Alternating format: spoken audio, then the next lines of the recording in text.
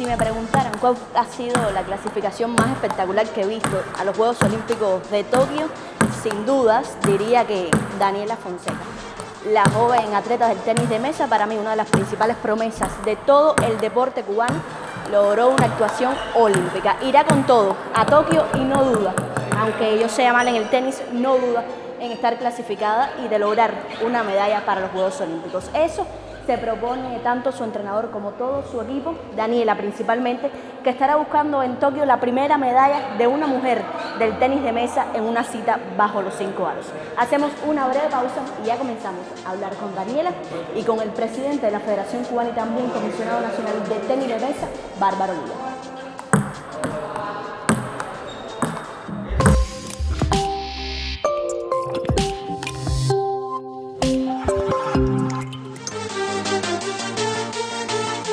Bueno, ya yo decía que para mí una de las clasificaciones más espectaculares o la más espectacular hacia los Juegos Olímpicos de Tokio había sido la de la tenista de mesa cubana Daniela Fonseca.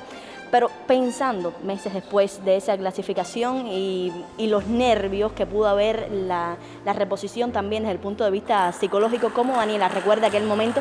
Y también qué pensaste cuando en el primer momento no pudiste lograr esa clasificación olímpica, después reponerte para poder lograrlo. Bueno, fue una clasificación bastante dura, intensa por toda la trayectoria del viaje. Pues cuando perdí esa primera clasificación, yo hablé con mi entrenador, hablé con mi mamá y yo le decía que ya, que ya esta era mi oportunidad, que ya yo no, iba a clasificar más y, me cerré a una manera donde ellos hicieron todo lo posible para que yo volviera a recuperarme y, poderla jugar a mi 100 al, al otro día también eso lleva a una progresión psicológica, yo diría, del cuerpo técnico, porque hay que levantar un atleta, que se pudiera decir, pasó con Daniela, pasó con Moisés también. Levantar un atleta que quizás en algún momento dice, bueno, ya perdí mi oportunidad, ya no se me va a dar una oportunidad así. Yo creo que sí, nosotros sufrimos una derrota el primer día, dos derrotas magníficas, dos derrotas muy buenas, porque dieron lo mejor de sí, tanto Daniela como, como Moisés, y yo me sentía mal, pero mucha gente se comunicaba conmigo como cabeza del grupo, como como director técnico del equipo de trabajo y, no podía dejar que el grupo se cayera. Por lo tanto, nos convocamos a una reunión en el cuarto de los muchachos y hablé con ellos y le di toda la confianza y la seguridad que, había que darle en ese momento. Esto creo que ha sido un trabajo en equipo muy, muy grande, todos confiamos en todos, éramos un equipo, éramos una sola burbuja, éramos un solo, una sola dirección y yo le dije en ese momento que no habíamos perdido, habíamos perdido una batalla, no la guerra, si la guerra continuaba y que al otro día había que salir con el mismo ímpetu o mejor que el día anterior porque habíamos perdido ese era el momento de crecerse y ser grandes de verdad. Ser grandes como personas, ser grandes guerreros. Que yo siempre iba a criticarle que no salieran ahí a luchar. Yo lo que le pedía era luchar. Cada punto, cada. Y el otro día, ella lo sabe, es una anécdota creo que, es importante. Eh, el profesor Víctor estaba, yo soy técnico también, entrenador de nivel 1 internacional, pero cumplo función ahora como presidente y comisionado. Hay que cumplirle una función. Me tocó dirigir a Daniela su primer partido contra Neres Nino, una gran atleta de Venezuela. Daniel no estaba bien, no estaba bien, no estaba concentrado, todavía tenía que, digamos, la laguna mental, el trabajo psicológico, decías, de la derrota anterior. 3-1, 6-3 de ella, no se me olvida eso y tuve que pedir un tiempo técnico y acogernos un plan táctico donde teníamos que salvar primero ese partido y después pensar en todo lo más que iba a pasar. Todo lo que pasó, bueno, la magnífica clasificación, pero ahí también nos jugamos la vida. Ella tiene una cosa muy buena que es muy disciplinada tácticamente. Eso es lo que la lleva el triunfo. Por eso es que siempre le digo, vamos a, ella respeta a su entrenador y cuando cerramos el juego es una atleta que dice, bueno, es por aquí, mis entrenadores me quieren guiar, porque hay veces que la atleta piensa que queremos, no, no, es, un trabajo en equipo. Nosotros de afuera del elefante vemos un poquito más. Y la atleta la estaba haciendo muchos años con el topping de revés, que a Daniel le costaba mucho trabajo yéndose hacia atrás, porque no tenía la fuerza esa atleta que otros jugadores. Por lo tanto, le dije, hacia adelante, cambiamos la táctica y después lo invertimos. Nada, después el partido fue puro trámite y ganamos el, sacar el partido 4-3. Tremendo susto porque se iba a la competencia y nada del sueño olímpico.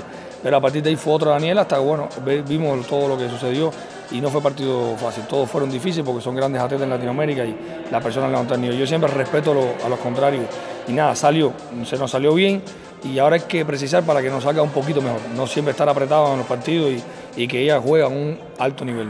siempre con humildad, modesta, y siempre se lo he dicho, que tiene que cuidarse. Ahora tiene un compromiso social porque es olímpica, Cuba la sigue y van a seguir sus pasos. Creo que es algo que tenemos que nosotros, el cuerpo técnico, vigilar por ella, vigilar por el equipo de trabajo y por otros atletas también que tienen condiciones y calidad en este equipo de trabajo. La más joven de la delegación cubana que irá a los Juegos Olímpicos de Tokio, Daniela, lo que más me llamó la atención en aquel momento, cuando algún atleta clasificaba, por ejemplo, no sé, la mexicana, la argentina, mm, iba para donde estaba el entrenador y se abrazaban. Pero con el equipo Cuba pasaba diferente, es decir, cuando lograron la clasificación, tanto tú como Moisés, cuando lograron en la dupla, eh, todo el equipo iba. Incluso cuando Moisés eh, no logró la primera clasificación, que se tiró al suelo, después todo el mundo fue a abrazarlo. ¿Cómo es la dinámica de equipo? Sé que se llevan muy bien, sé que también eso es un factor determinante, porque en algún momento el mismo Andy, que no clasificó, o la misma Idalis, puede ponerte una mano en el hombro y decirte, Daniela, tú sí puedes, Daniela. ¿Cómo fue la dinámica en cuanto al equipo? Pues nosotros somos un equipo bastante unido, eh, somos como uno y no importa entre nosotros no importa tanto el resultado, quién gana o quién pierda, pero si yo pierdo y ella gana, pues yo voy a estar ahí un 100% para ella. y lo voy a estar apoyando pues desde las gradas, mis partidos, cuando yo iba empezando de abajo, y Dali siempre me gritaba diciendo, vamos, eh, yo sé que tú puedes, vamos a seguir, no te, no te rindas. Y cuando gané, pues fueron todos uno de los primeros que estaba ahí. Eh, abrazándome y apoyándome porque también sintieron lo mismo que sentí yo cuando gané. Eh, el resultado, eh, todo el sacrificio de, los meses, de los años, de, que hace también 20 años que una mujer no clasificaba y, todo lo difícil del viaje, haber perdido Moisés sus dos finales, yo perdí una también, ya mis otros compañeros también habían perdido y pues estaban ahí siempre apoyándome sin importar cómo habían perdido, y, pero siempre estuvieron apoyándome sin, sin condición. Si bien el reto para, poder clasificar fue duro porque era una eliminatoria, no caos, si perdías te ibas, ahora el reto para los Juegos Olímpicos de Tokio va a ser mucho más grande. Cuando yo les escribía para hacer la entrevista, que el profe Bárbaro te ayudó, te preguntaba como iniciativa propia, te decía, Daniela, para Tokio, ¿se puede una medalla? ¿Se puede una medalla? Pues claro que sí, eh, voy a entrenar para darle esa medalla a Cuba, eh, a darlo de mí, pues si lo logro va a ser un resultado que no se ha logrado aún pero vamos a entrenar para eso y si no se logra, pues voy a darlo todo hasta, hasta lograrlo. Y si no lo logro, pues por lo menos lo intenté y di lo mejor de mí. Yo solo quiero explicar que, que yo le hice la pregunta porque el sueño, pero eh, desde la historia de los Juegos Olímpicos del año 88, que el tenis mesa olímpico no se ha logrado una medalla en América, no por Cuba, por ningún equipo de Brasil, Estados Unidos y Canadá que tienen chinos y japoneses. Así que esto estamos hablando que sería algo histórico e impensable y para algunos es imposible. Yo creo que para la imposibilidad está en la mente de cada uno. Yo le dije a ella, tú eres una gran jugadora, es lo que te vas creyendo en la competencia y nada, el equipo cubano está claro de que tenemos una gran jugadora, tenemos grandes jugadores. Moisés también, en el mito tenemos grandes chances también. Son 16 mitos del mundo y nada, hay que salir a jugarlo todos los partidos. Son 90 jugadores individual, muy complejo no como otros deportes, a veces son, no porque son 16, 18 deportes, aquí son 90 jugadores, los mejor rankeados por cada comité olímpico y es muy difícil la competición individual en los Juegos Olímpicos. Ganar un partido ya sería un récord, imagínense, Adriana Díaz, que la primera del ranking, ha ganado solamente dos o tres partidos en los Juegos eh, Olímpicos y ha llegado solamente a la fase 32, nunca ha pasado ni a la fase 16 en unos Juegos Olímpicos, así que estamos hablando ya términos mayores. Pero nada, en su mente está y como dice eh, Albert Einstein, creo que uno tiene que creerse uno mismo que puede. Y la imaginación y el sueño no se puede matar ni de un científico ni de un gran atleta. Profe, ¿qué haría la federación, qué haría la Comisión cubana para ayudar a Daniela de Moisés en el camino hacia los Juegos Olímpicos de Tokio? Estamos en el último tramo, meses claves en la preparación, por las cargas, por lo que pudiera llegar en buena forma a Daniela, porque no llegue cansada y porque también llegue preparada desde el punto de vista técnico-táctico. ¿Cómo estaría encaminada esa preparación? ¿Qué hilos se moverían para poder em, bueno, robustecer a Daniela de cara a Tokio? Bueno, el primer hilo que vamos a robustecer es que tienen que estar unidos, hay que trabajar ese mito bien en serio y trabajar en Bubúa, trabajar unidos todo el mundo juntos. Eh, no hay mucho chance por el tema de la pandemia y los clubes en China, hablamos con Chendín, y exigen muchos días de, aislamiento, 14 días y después 7 días, es no nos daría la cuenta. Estamos hablando de 62 días de entrenamiento porque el 24 de julio estamos jugando primera ronda de clasificación mixto y Daniel su primer partido en ronda de clasificación. Por lo tanto, nos va a aceptar en Alemania, en Tosping, en Thomas Wetzel, para lograr una preparación ahí de 20 días, regresar al país e irnos con la delegación pero ya en una vista todo el mundo unido. Moisés se incorpora al entrenamiento, regresa el 29 de mayo, cumple su cuarentena y saldríamos el 15 al 20 de junio para poder lograr la última etapa y perfilar los últimos detalles e indicadores de rendimiento. Iríamos con las sparring y Dalí Lobe y la principal figura de Cuba, Andy Pereira, nuestro capitán, que también estaría en esa base de entrenamiento, con otros extranjeros más que ya me comunicaron, una Natalie Paredes, una sueca y una Paulina Vega también clasificada a los Juegos Olímpicos, que va a estar en ese centro. Así que va a ser una base provechosa tanto para Daniela como para el equipo técnico. Daniela, teniendo en cuenta la preparación que has visto con Moisés en, en Europa, también el caso de Andy que ganó la liga en, en Austria, ¿Crees que tengas condiciones para poder enfrentarte a un club en Europa? Es que el reto es grande, tienes solo 18 años, tal vez la posibilidad de manejar a alguien que vaya contigo, algún familiar o también algún entrenador. ¿Crees que te ves en algún club en Europa desde el punto de vista psicológico, tu preparación también como madurez como atleta? Pues sí me veo, pero en estos momentos no, me siento como preparado aún como para irme para un club, para un club solo. Eh, si yo me fuera y como mis bien mis entrenadores y comisionados todos me han dicho, que si yo me iría a algún lugar sería un entrenador, me sentiría más, como más segura por mi edad, aparte de mi edad, mi madurez, tal vez no, no llega, nunca lo he experimentado, nunca he estado en un lugar, no he viajado nunca sola, siempre con mi delegación, entonces no sabría cómo, cómo sería esa evolución mía, tal vez es buena, pero tal vez no, pero no creo que sea momento aún para arriesgarnos a, a ver si funciona o no funciona a esperar a que crezca unos añitos más y poder prepararme mejor y estar más, más segura para jugar en una liga. Pero jugar en una liga sí, sí me veo con condiciones de, de jugar muchas ligas, lo que no sola. Yo, no, no, tranquila, yo solamente acotábamos ahí, de cuerpo técnico hemos decidido eso porque hay lugares que se entrenan muy bien y se compite, pero realmente hay veces que no se cumplen los objetivos. Ella es atleta de Cuba y defiende, los intereses cubanos. En un club defiende los intereses de clubes. Nosotros nos interesa el nivel competitivo, el nivel de entrenamiento y preparación integral que necesita ella, realmente es una visión de, Cuba. Pongo el ejemplo, Hugo Calderano es el 6 de ranking del mundo y viaja concentrado francés para todos los World No, su entrenador es con él todo el tiempo. Es decir, e, es una base eh, del libro de Gadal, Entrenar para Ganar, donde hablaba que su entrenador y, y atleta son uno solo. Y Brasil viajan otros atletas solo, pero Hugo Calderano, que es la principal figura, viaja con su entrenador todo el tiempo todos los World Nosotros hemos tratado de diseñar y aprender de los mejores. No solamente es imitar, es aprender. Porque obviamente no vamos a comprar el presupuesto ahora sí con el de Cuba y bueno, tendríamos que tener ayuda del Comité Olímpico.